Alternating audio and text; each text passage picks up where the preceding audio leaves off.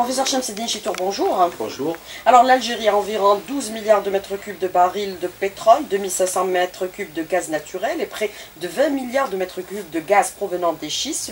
pour le pétrole, nous ne produisons qu'un million de barils jour. Le potentiel algérien est important aujourd'hui. Professeur Chitour.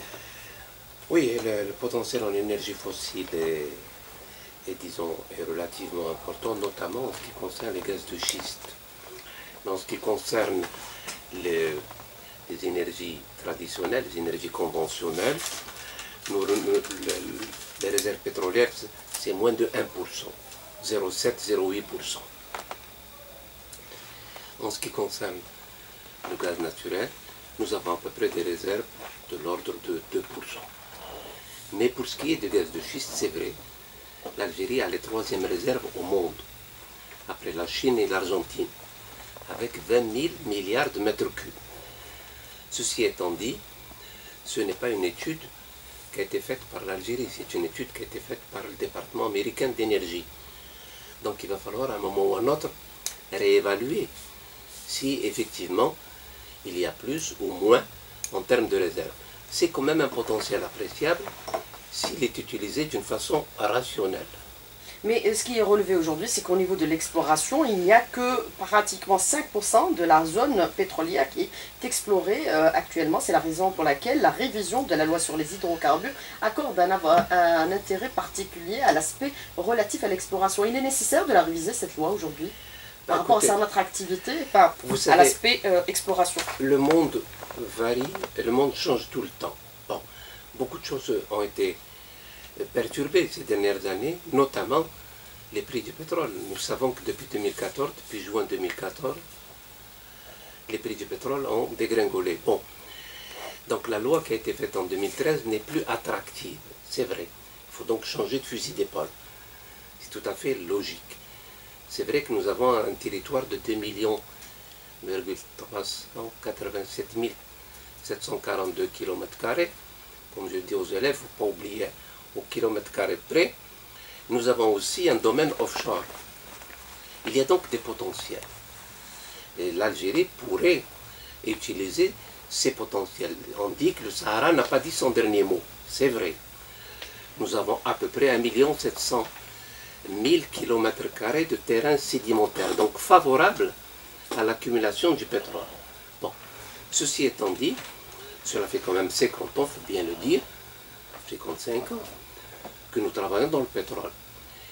Peut-être que le moment est venu d'être un peu autosuffisant dans l'exploitation, dans l'exploration, et ne pas dépendre totalement des compagnies étrangères. D'où la nécessité, encore une fois, de la formation, de telle façon à appeler les, formations, euh, les sociétés étrangères comme complément, et pas à notre place. Parce que le gros problème, c'est que on dit, bon, les compagnies étrangères vont régler notre problème. Non. Il faut qu'on soit quand même d'une certaine façon autosuffisant. Et nous ne le faisons pas assez. Il y a donc des sérieux efforts à réhabiliter, par exemple, l'Institut algérien du pétrole, mais surtout la formation d'ingénieurs et de techniciens qui a disparu, faut bien dire, des cursus de formation en Algérie. Mais justement par rapport à cet aspect de l'attractivité, le Premier ministre a précisé qu'il est temps pour que l'Algérie révise sa loi sur les hydrocarbures afin d'encourager la venue de nouveaux investisseurs et améliorer les recettes du pétrole. C'est la chute des prix des hydrocarbures qui ont fait que la fiscalité pétrolière n'est plus aussi attractive. Vous savez, pendant plusieurs années, on nous dit qu'il faut essayer de trouver euh, des investissements hors hydrocarbures. C'est un mauvais signal qu'on donne aux citoyens en disant on va revenir aux hydrocarbures. Il faut donc de cette fête relativiser. Il faut exploiter. Il faut rationaliser. Il faut augmenter les réserves. Mais il ne faut pas changer, j'allais dire, de, de, logiciel. Le logiciel, c'est comment sortir des hydrocarbures. Si on dit qu'il faut aller vers le gaz j'espère qu'on va en parler, d'accord, mais dans le cadre d'une stratégie globale. Mais justement, vous voyez ça dans une vision globale. Qu'est-ce que vous entendez exactement par cela, euh, professeur Chitour? Moi, je dis que euh, depuis le temps que je travaille dans ce domaine, mon premier ouvrage est sorti en 92. Et j'avais appelé les enjeux de l'an 2000. Bon. Donc cela fait à peu près un quart de siècle que je dis attention. tant qu'on n'a pas une vision du futur. Et à l'époque, j'avais la vision 2000. Maintenant, depuis quelques années, on parle de la vision 2030. Quelle sera l'Algérie de 2030 Pour pouvoir en parler, il faut d'abord savoir ce que nous avons dans les poches. Qu'est-ce que nous avons comme potentiel? Vous parlez tout à l'heure des énergies fossiles. Mais il était important aussi de citer les énergies potentielles en énergie renouvelable. Le solaire, l'éolien, la géothermie, les barrages, les, énergies, euh, j'allais dire le bois, euh, tout ce qui est biomasse. Tout ceci, une fois qu'on a fait le potentiel, on dit voilà ce que nous avons. Ensuite, on se dit où est-ce qu'on veut aller? On veut aller en 2030. Comment y arriver? On trace des trajectoires. C'est ce qu'on appelle le modèle énergétique. Et le modèle énergétique, il faut avoir une vision du futur. Vers quoi? Vers le développement humain durable. Dans ces conditions, il faut arriver à un bouquet énergétique. Le bouquet énergétique, c'est un peu tout ce, qu'on vient de dire, toutes ces énergies qu'il faut développer à marche forcée, mais aussi jamais oublier que le plus grand gisement en Algérie, c'est celui des économies d'énergie. Et dans ce cadre-là, tout est à faire. Le gaspillage en Algérie est un sport national, ça chacun le sait. Mais quelque part, l'État aide aide à ce gaspillage. Comment? Par un bradage des prix de l'énergie, par un bradage des prix de l'eau. La politique de subvention est, dangereuse en ce sens que qu'il n'y a qu'une certaine catégorie qui en profite le plus. 80% des subventions vont vers ceux qui n'en ont pas besoin. Quand vous dites le litre d'essence est à 35 dinars, ne peuvent en profiter que ceux qui ont une voiture, ou deux voitures, ou trois voitures, ou un 4x4. Bref, ce n'est pas le, citoyen lambda qui en profite. Mais justement, professeur Chito, quand vous parlez du bouquet énergétique, les énergies renouvelables, il faut le rappeler, on était les premiers à envisager cette option, c'était déjà en 1981. Et oui, c'est cela. Ben, on avait même créé un commissariat aux énergies nouvelles. Et il y avait aussi l'ENI qui produisait, assez de qui produisait ben les panneaux photovoltaïques. Les premiers photos. L'Algérie était en quelque sorte pionnière, pas simplement dans le domaine des énergies renouvelables, mais aussi dans le domaine informatique, avec la mise en place euh, du centre informatique algérien. Bref, mais ça c'est le passé. Le gros problème de l'Algérie, c'est que on est en quelque sorte, on suit la mode. Ce que font les autres, on n'a pas de cap, on n'a pas, de, on pas de souffle. On s'essouffle rapidement.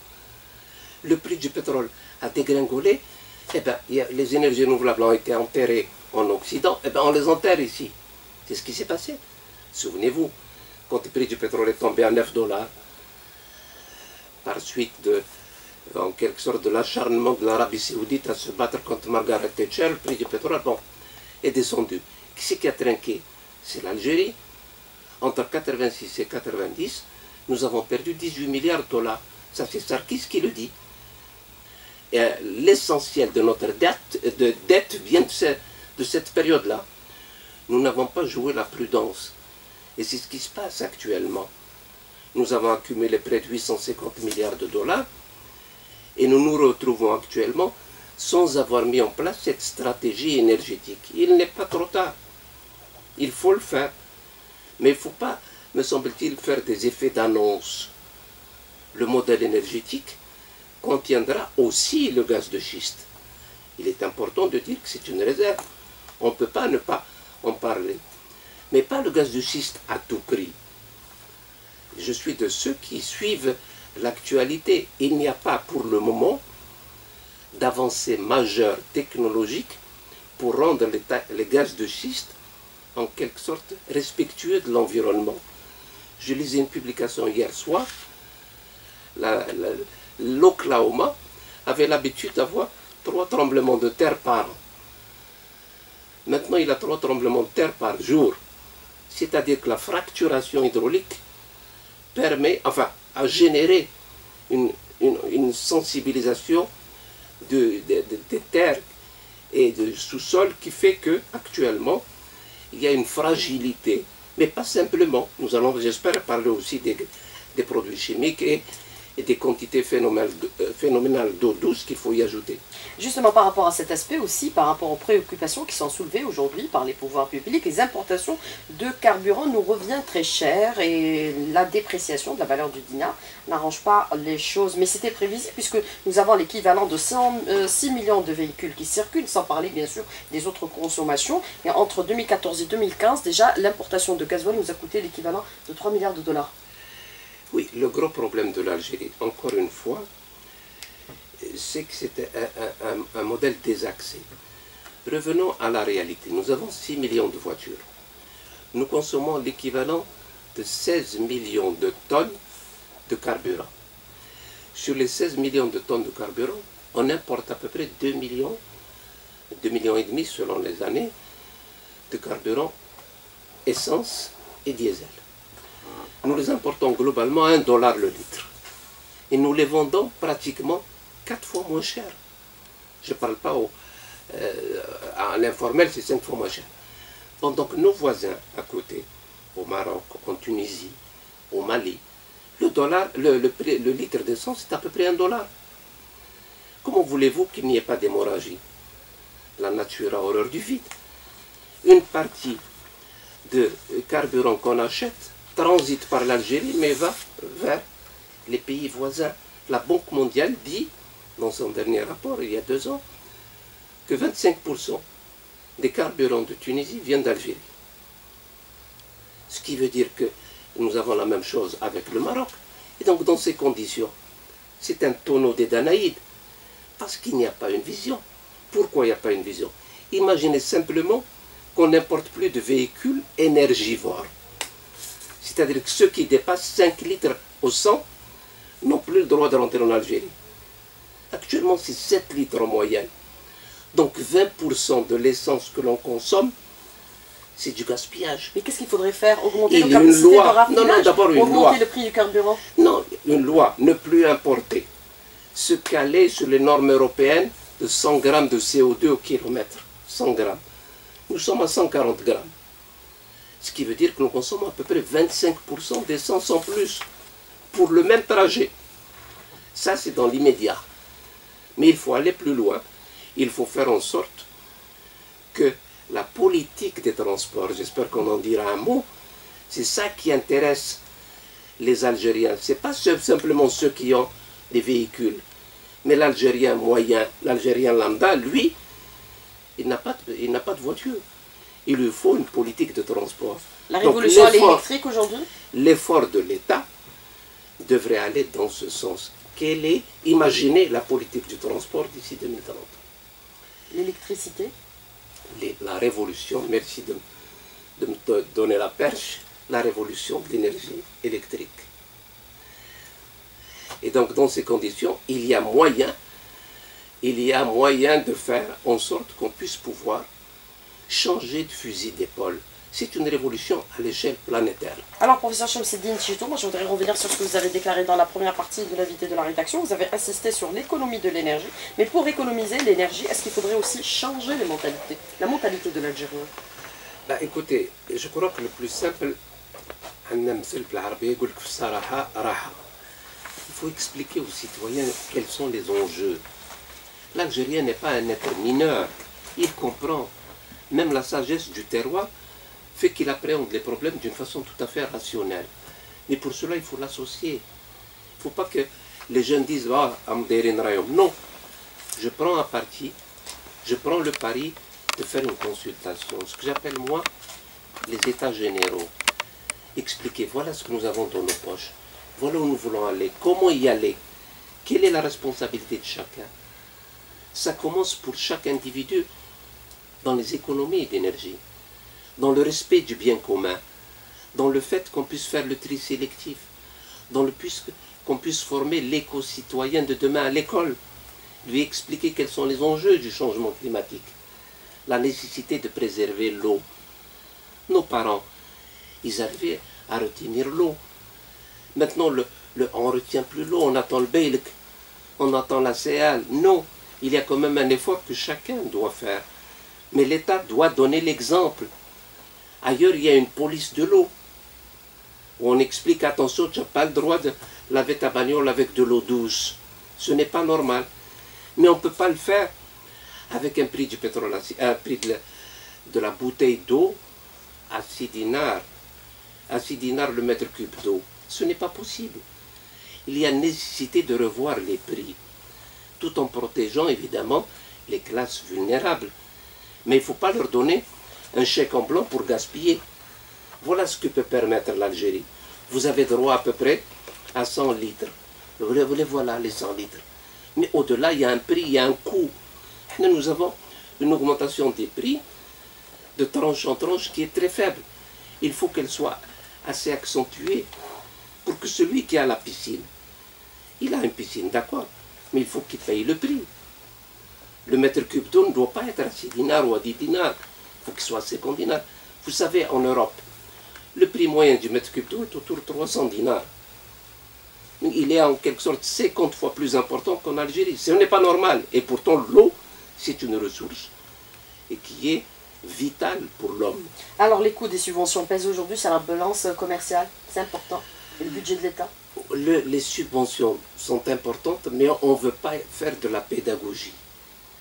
Quand vous expliquez aux citoyens, on ne peut pas continuer comme ça et qu'il faut aller d'une façon graduelle vers des prix réels. Vous ne pouvez pas continuer à 35 dinars. Je ne suis pas là pour essayer de, défendre un gouvernement, ce n'est pas mon affaire. Mais en tant qu'universitaire, jaloux de la réussite de son pays, je dis qu'on ne peut pas le faire comme ça. Beaucoup de pays ont mis en place la carte carburant. La carte carburant qui dit, écoutez, voilà ce que l'État peut mettre à votre disposition à ce prix-là. Un prix étudié. Mais au-delà, il y a, euh, vous avez la possibilité d'aller à la pompe à essence, mais au prix réel. Nous l'achetons à un dollar. On ne peut pas le vendre à 30 dinars. Alors, vous parlez des états généraux. Qu'est-ce que vous entendez exactement par là, professeur Chitou? Écoutez, les, expériences sont connues en France. Euh, il y a eu le Grenelle de l'environnement. Qu'est-ce que c'est? C'est à peu près un millier de conférences où on dit à chacun, voilà, on explique aux citoyens voilà les, possibilités de ce pays. Voilà où nous voulons y aller. Comment y aller? Nous, voulons, nous, sommes actuellement à 1250 kWh par habitant et par an. Nous ambitionnons d'être en 2030 à 2500 kWh, c'est-à-dire en double. Ce qui veut dire qu'avec la population qui sera de 55 millions, on sera à 110 TWh. À 110 TWh, nous sommes à 50. Donc il faut multiplier par deux fois et demi le parc que nous avons actuellement de centrales électriques. Mais pourquoi voulez-vous qu'elles soient toutes au gaz naturel? Le gros problème, c'est qu'on n'a pas l'imagination de dire nous allons nous accrocher à une locomotive. Je pense notamment à la Chine, qui est une locomotive à la fois dans le domaine des énergies renouvelables, mais aussi dans le domaine du transport. Et je pense à l'Allemagne. Nous allons les payer avec le gaz naturel que nous n'allons pas consommer s'ils nous mettent en place, si vous voulez, une centrale renouvelable de 1000 MW solaire. Nous consommons pour une centrale 1000 MW 1,5 milliard de mètres cubes de gaz par an. On vous garantit 1,5 milliard de mètres cubes. Et donc, dans ces conditions, on paye une partie du plan renouvelable avec le gaz naturel que nous n'avons pas consommé. Mais cela va plus loin il faut qu'on puisse mobiliser des crédits à l'extérieur. Tout le monde le fait. Vous savez, il y a ce qu'ils appellent la Green Belt, qui coupe l'Afrique en deux, qui va de Dakar jusqu'à la Somalie, avec un financement de la Banque africaine de développement. Qu'est-ce qui empêche l'Algérie, si elle a une vision, de dire, écoutez, en tant que Banque africaine, aidez-nous à mettre en place ce plan énergie solaire. Mais justement, par rapport à ce plan énergie solaire, il ne faut pas l'abandonner il faut continuer dans cette voie, même si on diversifie nos sources. Écoutez, je vais, je, vais me, je vais me faire mal à moi, en tant qu'Algérien, ça me fait de la peine. Nous avons des voisins qui sont très dynamiques. Vous voyez, par exemple, le, Maroc, il est à 50% d'énergie renouvelable en 2020. 50% de son potentiel vient de l'eau, vient de l'éolien et vient du solaire. Et nous, nous sommes actuellement à 390 MW de solaire sur un total de 18 000 MW. C'est-à-dire globalement, nous sommes à peu près à 3%. Ce qui veut dire qu'il faut être honnête. nous avions 450 MW d'énergie hydroélectrique. Où sont-elles?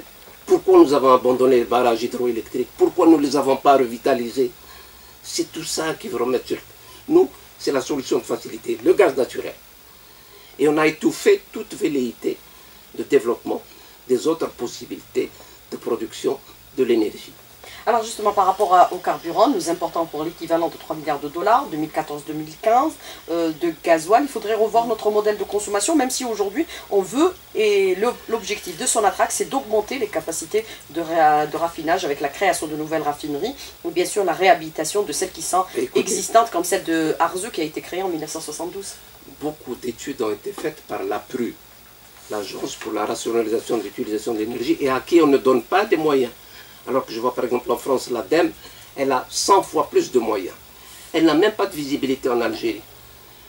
Vous avez 1000 spots sur les, euh, sur les opérateurs de téléphone pour un spot concernant les énergies. Les, les énergies. C'est pas normal, ça. Il faut que ça soit automatique. Il faut rentrer ça dans la mentalité des Algériens, à savoir qu'il faut économiser. Si on économise 20%, des études ont montré qu'on peut gagner 10 millions de tonnes. Et 10 millions de tonnes d'essence, euh, de pétrole, je veux dire, c'est l'équivalent de 5 milliards de dollars. Rien qu'en faisant des économies, on va diminuer la pression sur le pays. Mais est-ce qu'on a euh, des coûts qui ont été évalués par rapport au gaspillage? Bien sûr, je vous dis de 10 à 20% C'est-à-dire en termes en montant nous, nous, consommons à peu près 50 millions de tonnes dans l'année. Si on met si on se met sur le niveau intérieur, 10 euh, inférieur 10%, ça fait 5 millions de tonnes. Niveau supérieur, 10 millions de tonnes. C'est l'équivalent de 5 milliards de dollars. On est donc, on peut faire des économies d'énergie, mais chacun est concerné. Pour que chacun soit concerné, il faut d'abord qu'il soit convaincu. D'où la nécessité de consulter, de faire de la pédagogie, de faire des conférences, expliquer, attention, c'est le bien commun, il n'est pas éternel, il faut passer à un autre modèle de consommation, où chacun d'entre nous est partie prenante. L'enfant, quand il sort de la salle, il faut qu'il éteigne, parce que c'est de l'énergie. Et donc, à partir de ce moment-là, chacun, il ne dira pas, par exemple, j'ai pas d'eau. Vous savez ce qui se passe en France et en Europe? Ils ont mis en place des systèmes pour recueillir l'eau de pluie. Chacun recueille l'eau de pluie. Mais au-delà du constat, quelles sont les solutions aujourd'hui à préconiser, professeur Chitour, de façon concrète? De façon concrète, il faut dire à chacun et mettre, créer en quelque sorte des petites entreprises qui permettent à l'Algérien de trouver le nécessaire pour faire des économies, des économies d'eau, des économies d'énergie. Par exemple, l'affaire du cirrage. Pourquoi on n'en parle pas? On peut sortir de l'essence en allant vers le cirrage. Mais cette année, il y a à peine 18 000 voitures qui ont été converties. Alors qu'il faut au minimum 100 000 voitures par an. Ça veut dire quoi? Ça veut dire qu'il faut que l'État mette un dispositif attractif. Par exemple, prendre la moitié de la cuve de GNL, euh, de, de GPL, et dire c'est l'État qui le paye. À partir de ce moment-là, petit à petit, vous allez avoir un basculement. Les gens vont trouver que c'est attractif. Ce sera d'autant plus attractif le prix de l'essence sera élevé. Mais plus encore, il faut sortir du diesel. Il faut sortir du diesel, il est cancérigène. Il est abandonné en Europe. Il est abandonné par Volkswagen. Et nous, on continue à mettre en place des unités de production du diesel. Il faut sortir, donc revoir totalement la façon de faire le raffinage dans l'Algérie. Alors, euh, professeur Chitour, des questions des auditeurs qui vous disent, il y a quelques jours, on avait cette illusion d'être un pays riche, et puis aujourd'hui, paf, on se réveille, on découvre qu'on est pauvre. Est-ce qu'il fallait qu'on nous dise cette vérité bien à l'avance? Est-ce que c'était aussi prévisible? Ah, euh, Prévisible, oui. Je n'ai pas arrêté de tirer la sonnette d'alarme à telle enseigne qu'on prenait pas comme euh, pour un prophète de malheur. Bon, ça, mais j'assume en tant qu'enseignant, j'assume, mais je dis, encore une fois, il faut rassurer. Ce n'est pas trop tard. Mais le gouvernement ne peut rien faire par lui-même. Le ministre de l'énergie ne peut rien faire par lui-même. Le problème de la stratégie énergétique, c'est un problème de société. C'est tout le monde qui est concerné.